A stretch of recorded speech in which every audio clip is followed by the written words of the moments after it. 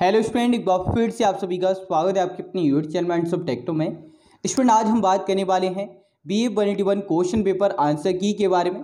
साथ ही detail explanation इस वीडियो में आपको मिलने वाला है सभी क्वेश्चंस का। ये वीडियो आपकी पार्ट वाइज रहेगी।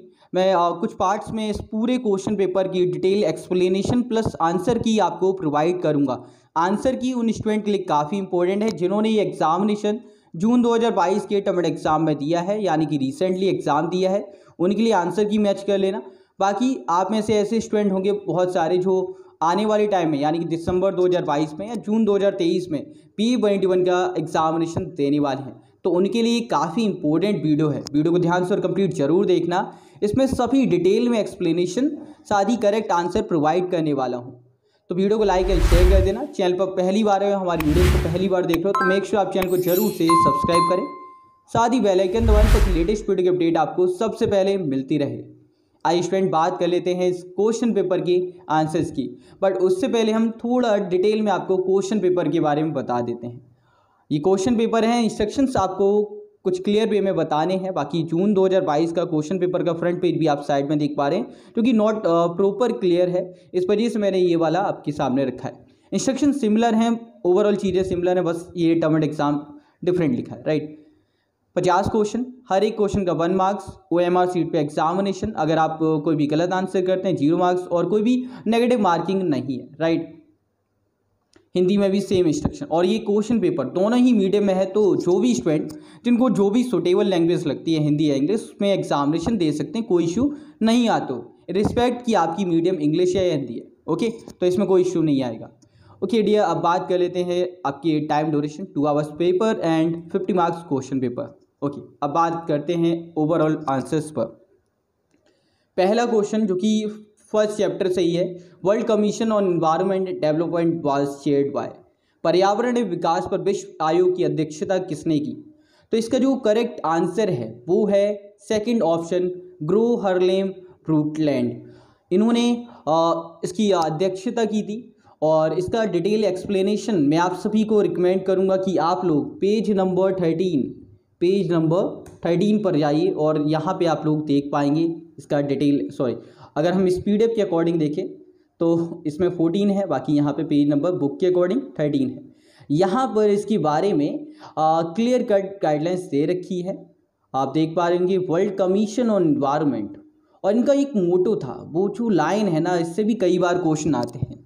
तो ये तो आपको पता चल गया, ये नॉर्वे के प्राइम मिनिस्टर थे, जो कि है ग्रो हरलेम ब्रूटलैंड इन्होंने अध्यक्षता की थी आपकी World Commission on Environment and Development की। डब्ल्यू सी ई डी इसके अलावा इनका जो मोटो था वो था meeting the needs of present generation without compromising the ability of future generation to meet their our need मतलब हमें रिसोर्सेज का यूज़ करना है अपनी नीड्स को फुलफिल करने के लिए। लेकिन ऐसा नहीं करना कि जो आने वाली जनरेशन है उनके लिए कुछ बचे ही ना। उनको सेक्रीफाइस करना पड़े ओके तो इसका डिटेल एक्सप्लेनेशन मैंने बता दिया। अब आ, आगे बात करते हैं जो कि है second question which one of the following is a decomposers okay? All right निम्नलिखित में से कौन सा अपघटक जीव है? डिकम्पोजर्स को हम अलग अलग नेम से भी जानते हैं जैसे सेपरप्रॉप्स भी कहते हैं रिड्यूसर भी कहते हैं और जो करेक्ट आंसर है वो है आपका बैक्टीरिया एंड फंगाई और कैटेगरी में हम अर्थ फॉर्म को भी इसमें इंक्लूड करते हैं तो आ, इस पेपर में कुछ चीज़ें ऐसी देखने को मिली हैं कि दो दो ऑप्शन दोनों ही करेक्ट हो रहे हैं। लेकिन जिन स्टूडेंट ने फंगाई या फिर अर्थ फॉर्म किया है तो उनको आंसर मिल जाएगा। क्योंकि दोनों ही ऑप्शन अगर बुक के अकॉर्डिंग हम देखें तो आपको मिल जाएँगे। और इसके लिए हमें कहाँ जाना है? हमें जाना है पेज नंबर ट्वेंटी सेवन और P D F card twenty eight okay PDF card twenty eight page number जिसमें डिकम्पोजर सेबिट्रॉप्स एंड रिड्यूसर्स के बारे में डिटेल में दे रखा है और यहाँ पे बताए भी है कौन से होते हैं। Fungi are responsible decomposing okay all right ये गिवन है आपको। यहाँ से आप देख पाएँगे। तो हमारा सेकेंड क्वेश्चन भी हो गया, अब बात करते हैं थर्ड क्वेश्चन की। थर्ड क्वेश्चन है which one of the following is not one of the priority area for achieving sustainable development goal so भैया, इसका करेक्ट आंसर क्या है, वो भी आप जान लीजिए। हिंदी में गए तो निम्नलिखित में से कौन सा सतत विकास के लक्ष्य का प्राथमिकता वाला क्षेत्र नहीं है? और इससे पहले मैं आप सभी को इस बारे में बता दूँ जो ये टर्म्स हैं। जैसे आपका प्रोड्यूसर है autotrophs consumer heterotrophs and decomposers यहाँ से क्वेश्चंस आने के कई बार ऑप्शन बनते हैं। स्टम को ज़रूर से पढ़ के जाना। कई बार आपको ऑटोट्रॉप से एग्ज़ाम्पल पूछ लेंगे। कई बार कंज्यूमर और कई बार डिकम्पोजर्स जो कि गिवन था। ऑल राइट right, इसका आंसर और एक्सप्लेनेशन आपको पेज नंबर पीडीएफ का 16 और बुक का 15 पेज नंबर पे आपको देखने को मिल जाएगा।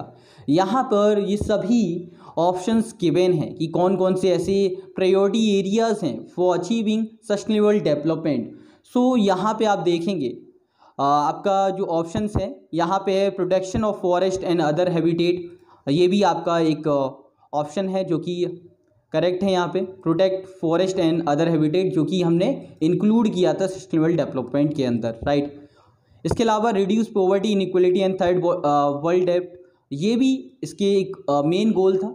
ये भी यहाँ पे इंक्लूड किया गया है। यहाँ पे आप देख पा रहे हैं second option okay all right इसके बाद में एक और है। आपका रिड्यूस बेस्ड जनरेशन ये भी इसमें इंक्लूड है। रिड्यूस बेस्ड जनरेशन जो हमारा लास्ट बचा, वो है आपका ज़ीरो पॉल्यूशन यानी कि थर्ड ऑप्शन आपका करेक्ट है। हिंदी में कहते तो शून्य प्रदूषण। और यहाँ पे आपका डिटेल एक्सप्लेनेशन गिवन है। आप लोग देख पाएँगे, पेज नंबर फिफ्टीन है यहाँ पे।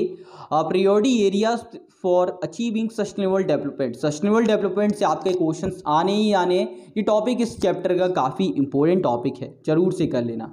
ओके ऑल राइट बात करते हैं क्वेश्चन नंबर फोर की। क्वेश्चन नंबर फोर भी आपका काफ़ी इंपॉर्टेंट है। और यहाँ से क्वेश्चंस देखने को मिले हैं। क्वेश्चन नंबर फोर है the main sulphur reservoir in the sulphur cycle is present in the option है आपके पास में soil volcanoes eruption, hydrogen, sulphide, water. बड़ा सल्फ़र भंडार, सल्फ़र चक्र के डैश में निहित है। मृदा ज्वालामुखी विस्फोट, हाइड्रोजन सल्फाइड एंड पानी। सो इसका जो करेक्ट आंसर है, वो है मृदा, हिंदी और इंग्लिश में सॉइल ओके इसका जो करेक्ट एक्सप्लेनेशन आपका गिवन है, वो है आपका पेज नंबर बुक का थर्टी सिक्स पी का थर्टी सेवन यहाँ पे आप देख पाएँगे सल्फ़र साइकिल में ये सारे ही पॉइंट आपके लिए गिवन है। आप लोगों को यहाँ पे करेक्ट वे में मिल जाएगा। ओके सो हमने बात कर ली आपके फोर्थ क्वेश्चन की भी। अब बात करते हैं डियर फिफ्थ क्वेश्चन की। और sulphur cycle water cycle hydrogen cycle nitrogen cycle ये साइकिल्स आपकी काफ़ी इंपॉर्टेंट है। इस चैप्टर की ज़रूर से करके जाना। सेकंड चैप्टर में से साइकिल से क्वेश्चन बनेगा ही। Okay all right question number five level four of the tropical tropic level could be occupied by पोषी स्तर के चौथे स्तर पर पाया जाता है। इनमें से कौन सा चौथे स्तर पर पाया जाता है उसके बारे में आपसे पूछा हुआ है। सो so, इसका जो एक्सप्लेनेशन है और जो करेक्ट आंसर है वो मैं आपको बता दूँ। पहले हम बात कर लेते हैं करेक्ट आंसर की। तो करेक्ट आंसर हमारा है जो कि है कार्निवोरस यानी कि टाइगर यानी कि हिंदी में बाघ। ओके तो फोर्थ ऑप्शन हमारा करेक्ट है। अगर आपने फोर्थ लगाया तो करेक्ट है। इसका एक्सप्लेनेशन की बात करूँ तो एक्सप्लेनेशन के लिए आपको जाना पड़ेगा पेज नंबर ट्वेंटी एट और पीडीएफ का ट्वेंटी नाइन यहाँ पर आपको ये ट्रॉपिकल लेवल देखने को मिल जाएँगी। यहाँ पर क्लियरली मेंशन है ट्रॉपिकल लेवल आप लोग यहाँ पे देख पा रहे हैं। और ये आपकी फोर्थ ट्रॉपिकल लेवल है, जिसमें कार्निवर्स के बारे में डिटेल है। इसके अलावा यहाँ पे गिवेन भी है। फोर्थ ट्रॉपिकल लेवल में आपके यहाँ पे गिवन है। ओके ऑल राइट तो ये हमारा क्वेश्चन भी हो जाता है। इसके बाद में डियर बात आती है नेक्स्ट क्वेश्चन की। Question number six in the biosphere the main land component is known as अब इनमें से कौन सा लैंड कंपोनेंट है? जीवमंडल में मुख्य भूमि भाग को डैश के नाम से जाना जाता है। तो ऑप्शंस आपके पास में गिवन है और ये बहुत ही इजी सा है। थलमंडल है, यानी कि थलमंडल, हिंदी में, इंग्लिश में कहते तो लिथोस्पेयर इसका करेक्ट एक्सप्लेनेशन आपको कहाँ देखने को मिलता है, वो मैं आपको बता देता हूँ। पेज नंबर ट्वेंटी फोर और अगर हम बुक की बात सॉरी पीडीएफ की बात करें तो पेज नंबर ट्वेंटी फाइव यहाँ पे आपके गिवन है। लिथोस्फीयर लैंड को रिप्रेजेंट करता है हाइड्रोस्फीयर वाटर को एटमोस्फेयर एयर को। ओके ऑल राइट ये आपका करेक्ट ऑप्शन है। इसके बाद में dear question number seven question number seven की हम बात करते हैं। इसमें है identify the following types of food chain god nematode saprotrophic bacteria लिखित में से खाद्य श्रृंखला को खाद्य श्रृंखला प्रकार को पहचानिए। बकरी शूतक्रमी मृतपोषी जीवाणु। इनमें से कौन सा ऑप्शन आपका करेक्ट है, वो आपको बताना है। सो द करेक्ट ऑप्शन यहाँ पे जो दे रखा है, वो आप लोग देख पा रहे हैं। और इसका जो आंसर है, वो है पेरिस्टेटिक फ़ूड चेन एक्सप्लेनेशन भी आप सभी को दिखा देता हूँ ताकि आपको और अच्छे से क्लियर आउट हो जाए।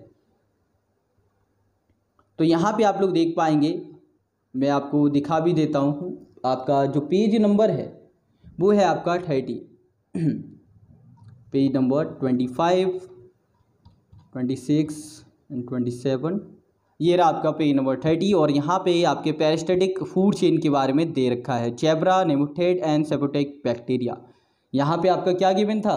यहाँ पे आपका गॉड गिवन था जो कि ग्रास वगैरह को कंज्यूम करती है। ऑल राइट right, ये भी क्वेश्चन बनते हैं आप ज़रूर से ये फ़ूड चेन को करके जाना। इसके बाद में क्वेश्चन नंबर एट है आपका।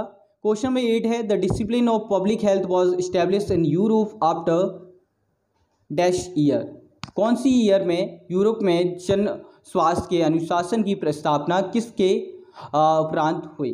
ओके सो इसका जो करेक्ट एक्सप्लेनेशन है और जो करेक्ट आंसर है, वो भी आप देख लीजिए बिकॉज़ काफ़ी इंपॉर्टेंट है और ये हुआ क्या? आपको पता है कि यार इंडस्ट्रियल रेवोल्यूशन काफ़ी बार देखने को मिले हैं। जैसे भारत में भी कई बार चेंजेस हुए हैं। ऐसे ही यूरोप में एक चेंज हमें देखने को मिला। वो आपका ब्लॉक फोर में आपका ऑप्शन है, मैं आपको दिखा देता हूँ। हमें जाना है इसका page number two fifty seven पर right two fifty seven okay all right